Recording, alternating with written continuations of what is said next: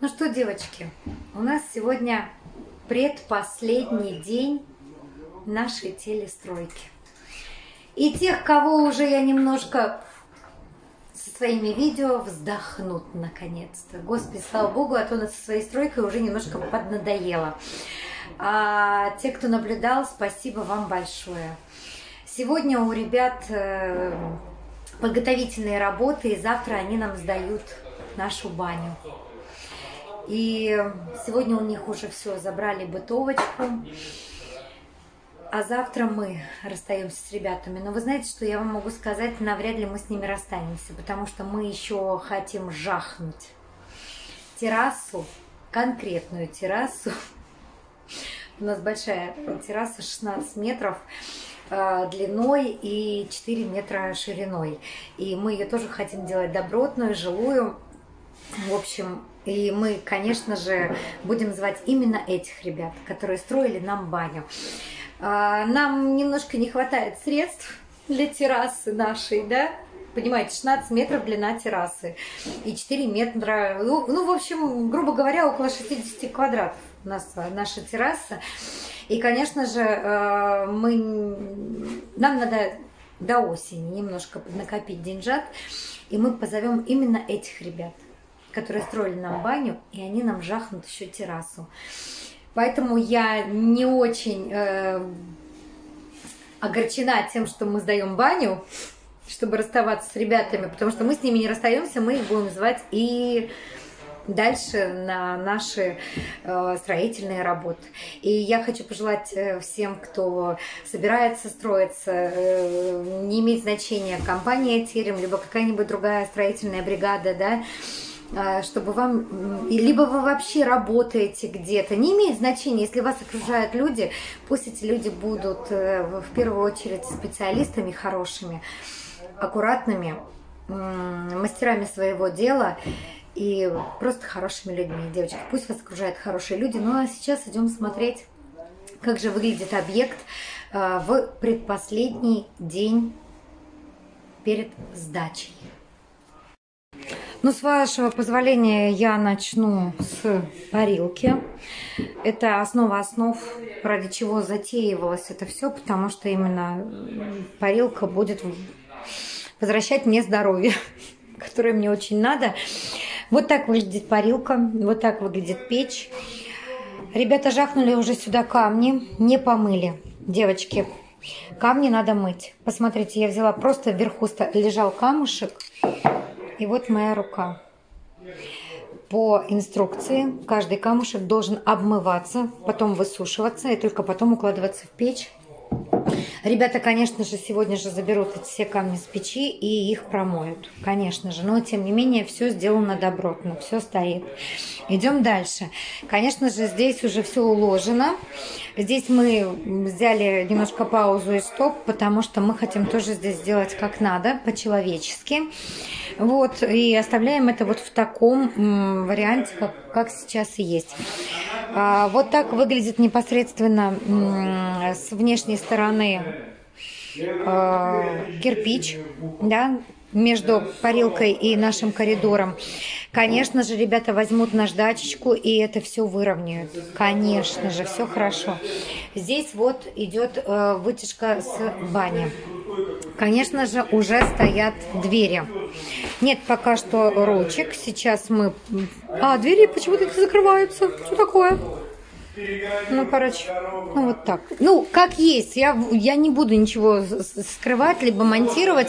Двери не закрываются. Соответственно, сюда надо будет ручка, э, э, которая должна, ну, вот с язычком быть. То же самое туалет. Да? И посмотрим, закрывается ли дверь в туалет. Закрывается, да, все хорошо. Вот она. Ну вот как-то так, но тем не менее она стоит достаточно добротно. Здесь дверь мы не стали, э, ребята ее повесили, мы ее сняли. Я сказала, забирайте себе эту дверь, нам не надо. Эта дверь, она нам будет мешать. И поэтому ребята сделали аккуратные откосы. Так, тишина, я снимаю видео. Здесь ребята непосредственно позакрывали уже окна. Окна стоят. Давай, Ярик, я сниму вот это окно, которое ты единственное не закрыл. Смотрите, что уже сделана э, внешняя облицовка наших подоконников. да. Обшито все вагоночкой, обшито все аккуратно, с внешней. Так, солнце внешней стороны окна, конечно же, окна мы утепляли пеной, э, утепляли, устанавливали. Пену мы тоже меняли на менее дешевую, на более дорогую. И пену мы брали добротную для наших окон. И вот так изнутри смотрятся окошечки. Каждое окошечко так вот выглядит. Что сейчас ребята, ребятки делают? А, поскольку они будут класть нам ламинат и красить абсолютно все помещение нашей бани в белый цвет. Игорь, принеси ведро, пожалуйста. Они закрыли окна а, крафт бумагой, кстати. А, закрыли окна, потому что ну, чтобы потом не мыть окна. Вот и все. Хотя у нас есть пылесос Керкер, который э, без проблем моет окна, но ребята обезопасили окна. Наш дом будет краситься вот такой э, высокоэффективной декоративной пропиткой для защиты древесины. Очень рекомендую вам сок. Беру сок томатный, ребят. Все будет в белом цвете. А, прокрашивать, ребята, все будут в три слоя. То есть три слоя будет идти э, крыша, да, чтобы она была более белесая. И в два слоя будут идти стены. У нас все будут в белом цвете. Несмотря на то, что, девочки, уже сейчас все, в принципе, светленькое. Но все знают э, мою болезнь по белому. Конечно же, вот это так не останется. Ребята все это за сегодня доделают. Здесь будут уголки, да, красивые, ну, можно сказать, стеночные плинтуса, если это можно так назвать. Поднимаемся на второй этаж.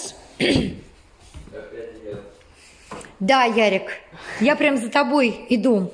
Здесь уже установлена перила, и это все, конечно же, также будет краситься, девочки, белый цвет. Воздухоотвод, или как это сказать, с парилки идет и на второй этаж, дымоход, Ярик мне подсказывает, идет э, с парилки и прям выход туда, в крышу. Здесь тоже уже все чистовое. А, ребята устанавливают вот крафт бумагу на окна обезопасить. Здесь тоже все зашито. Посмотрите, как все аккуратно. Я руками все вожу. Да, а, доделывают мальчики. Вот они, межстеночные, можно сказать, плинтуса. И это все будет сегодня покрываться в белый цвет. И поскольку у ребят забрали бытовку, они сегодня идут в ночь. За сегодня они покрасят абсолютно все в белый цвет в три слоя и начнут ложить ламинат.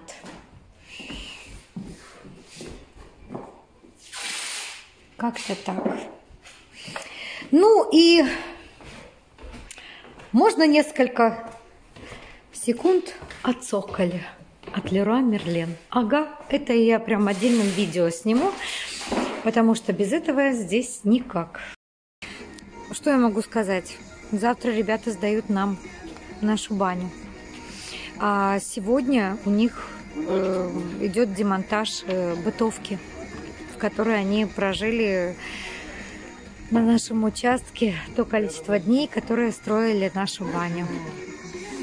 И поскольку сегодня забирается бытовка, а только завтра они сдадут нам наш объект, они, бедные, все выгружают на баннер свой красивый, который привезли сюда вот свои вещи. И, конечно же, сегодня они будут ночевать в нашем доме. Первые жители, первые гости.